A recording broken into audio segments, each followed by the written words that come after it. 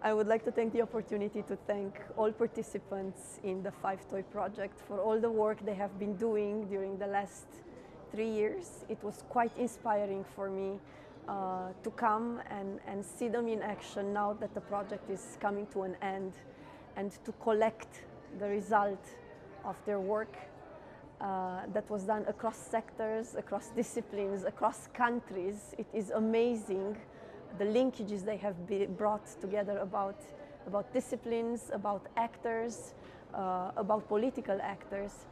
Uh, and I, it will be my honor to take those results, of course, back to Brussels and then report to my colleagues and find ways in which these results can be then fed into our work when we set up priorities and we design the calls, for instance, for our next framework program, which is Horizon Europe, that will kick off in uh, 2021. Um, I hope that there will be a follow-up to this program. I think the idea of Nexus itself has already taken root in the scientific community, in the political discourse.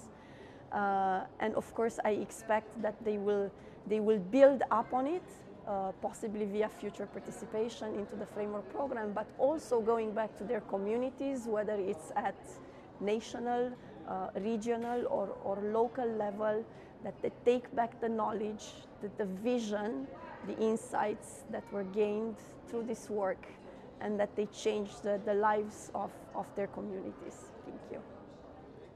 5TOI 4EWAS.